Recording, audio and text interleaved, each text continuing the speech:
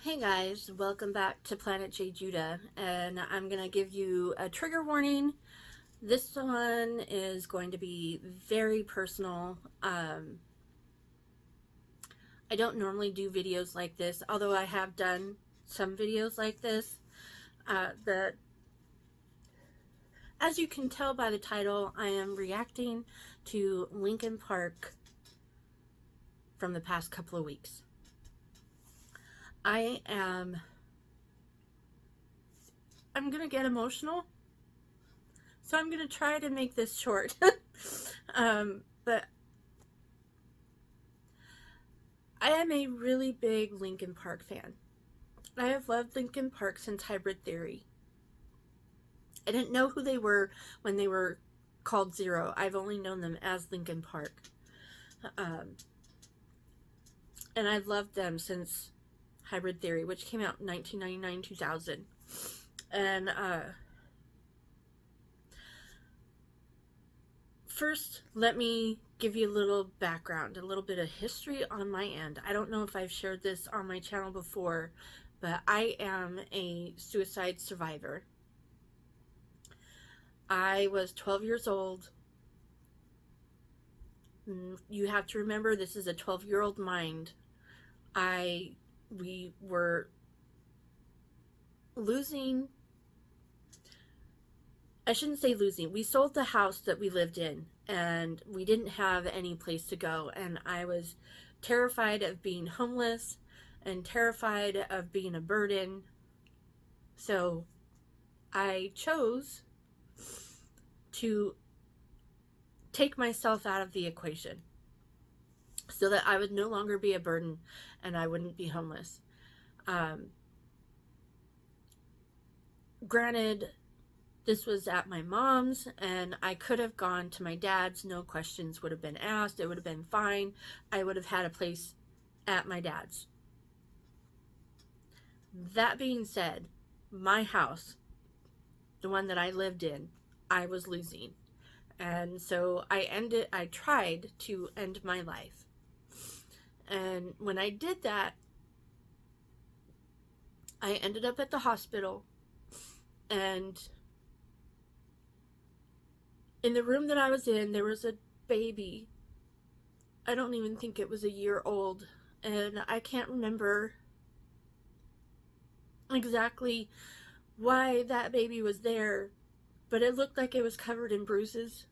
Or it may have had jaundice. Jaundice, I don't know, but it was I just remember it screaming and crying. And here I was trying to take my life, and here was this baby next to me fighting. And I made a promise. I made a promise that I would never try to take my life again. And as you can see, I have been successful at that promise. Um, that being said, that thought doesn't just go away. That darkness doesn't just go away. And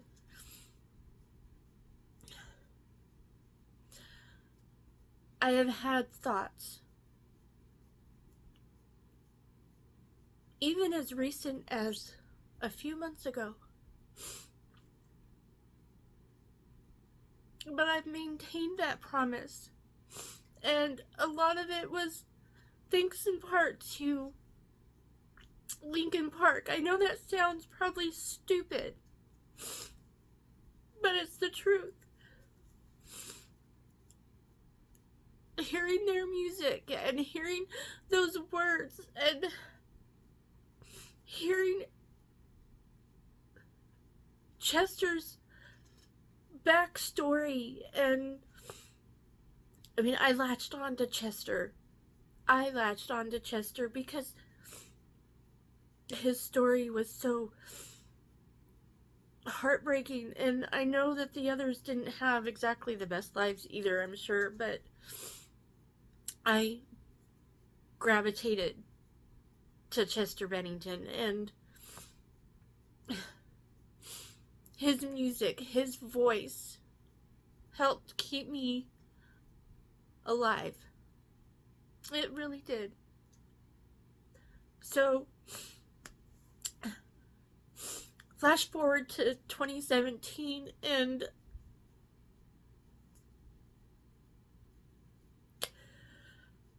that was probably one of the hardest celebrity deaths. I know that sounds so stupid because he was just a person, but he was a voice that kept me here.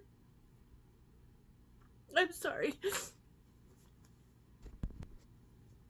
Okay. Um, July 20th, 2017 it was a very hard day. And it's still, as you can tell, it's still very hard.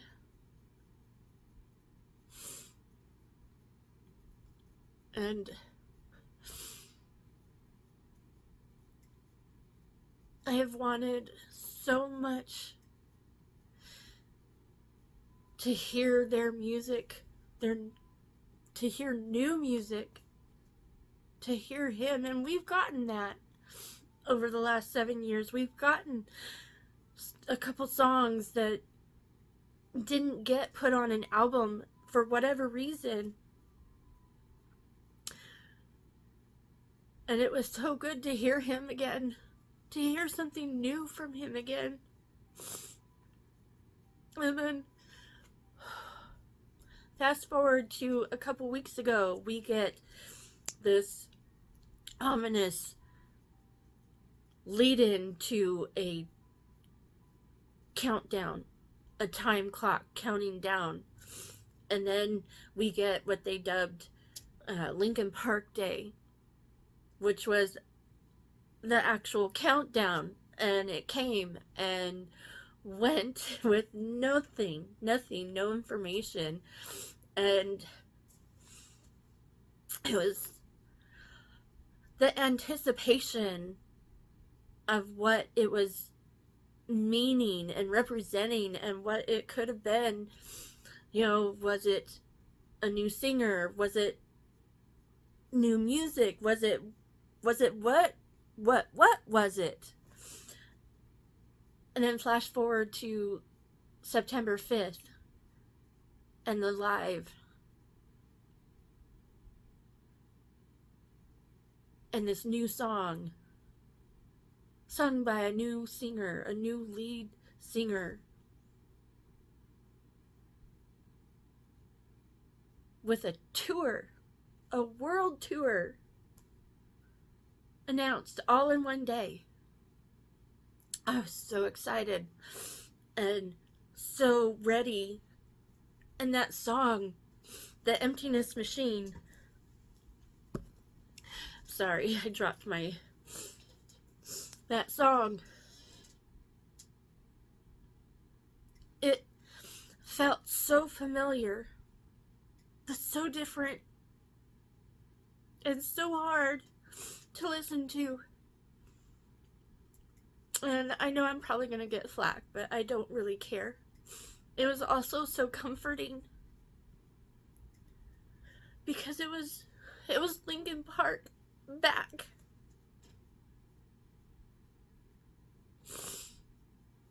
And I was excited again because it's been seven years and I didn't think that they would ever come back. But here they were, in my living room, so to speak, saying, Hi, we're back. And uh, I felt elated. I felt like I could breathe. As stupid as that may seem, or sound, or whatever, it was calming and it was exciting and I was looking forward to hearing the new album coming out in November and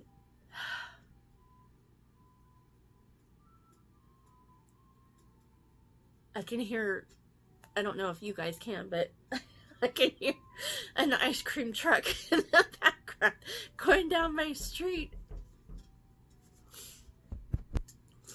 Okay, sorry. My mom-in-law came and was knocking at the door. But anyways, I don't remember exactly what I was saying, but um, to say I was excited and looking forward to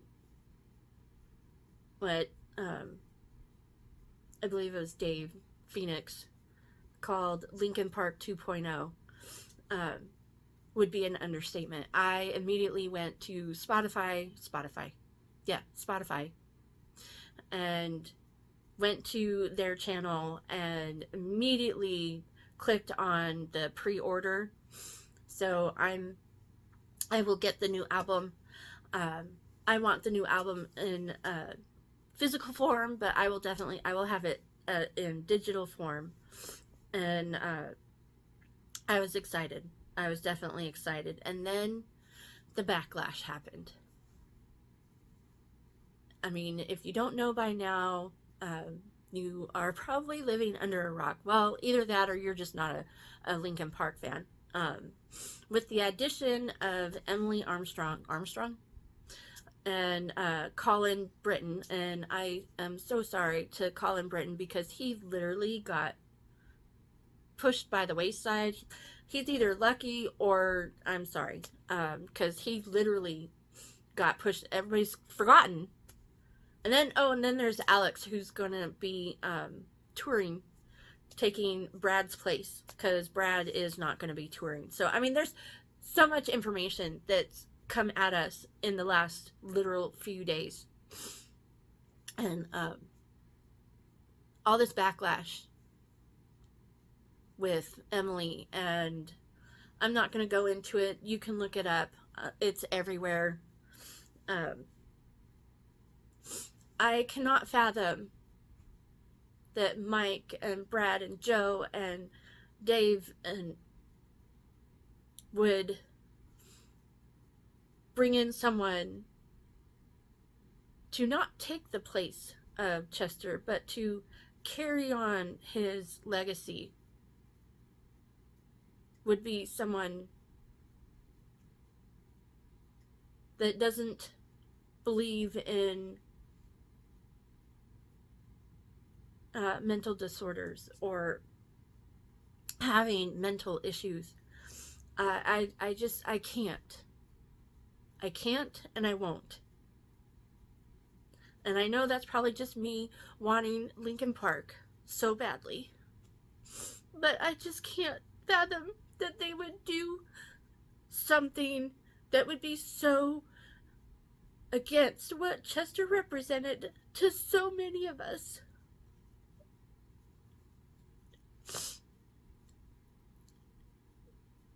So many people are here because of Linkin Park and Chester Bennington.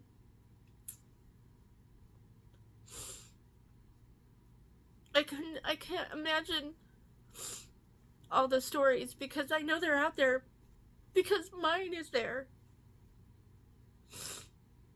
Um,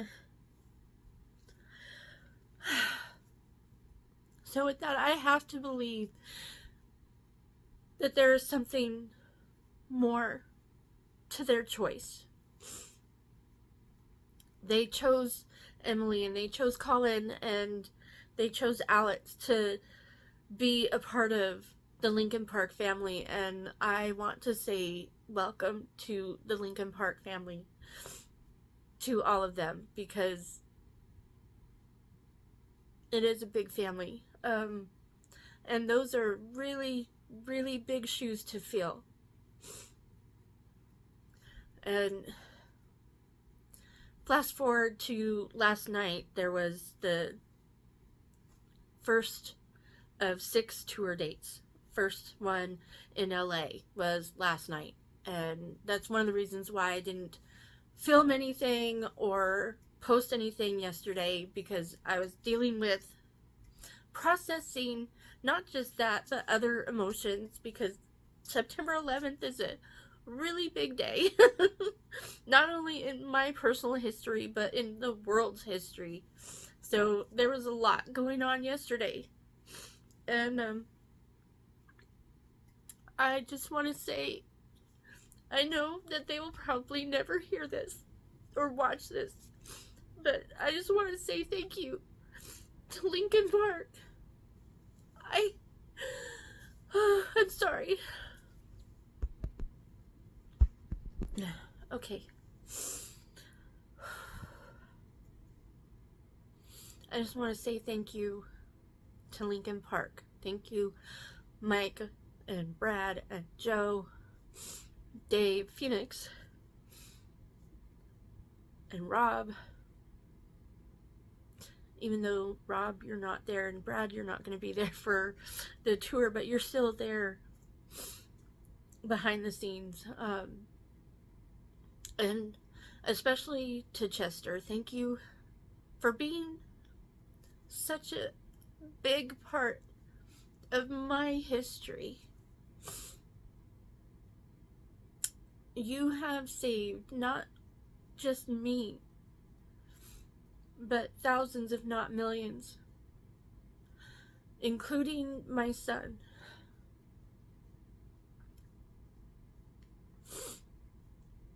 And I appreciate everything that you've done and everything that you will do in the future. And Emily and Colin and Alex, I welcome you into the Linkin Park family. I have watched footage of the concert last night and you all did amazing. It was I could feel the energy through the screen and I so wanted to be there. I wish I could have been. And I look forward to seeing what you guys have next. I can't wait for the new album. I'm still processing, and it's gonna be a process. But I just want to say thank you.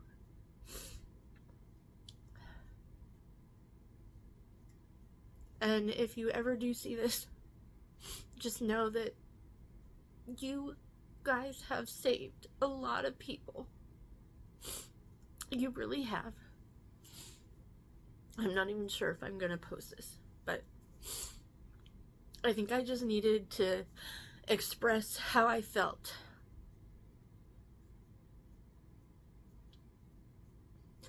And as hard as it is, I really do love the new song. And I can't wait to hear the rest of From Zero. Sorry, my eyes. So, um, let me just end this with saying life is worth being around. Life is worth being alive. And no matter how hard you think it might be, you are worth being here. And even though Chester isn't, his legacy lives on and will live on. So, if you need any help, do not hesitate. You can even call 911. But I will post as many as I can um, helplines, hotlines, whatever you want to call them, um, as I can in the description box below as well as here on the screen. Um, it is so important that you get the help that you need. And just know that you are worth having around. You are worth being alive. You will touch people in ways that you can't even understand. I know that I have saved at least one person from doing the same thing I did. And if I had not been success or if I had been successful, I wouldn't be able to say that because I wouldn't have been here to do that. So if you really if leave me a comment. Um, you can find me on all the social media. Um, leave me a message. I have an email you can that's in the description box below. And if you ever just need to talk i will be here and yeah.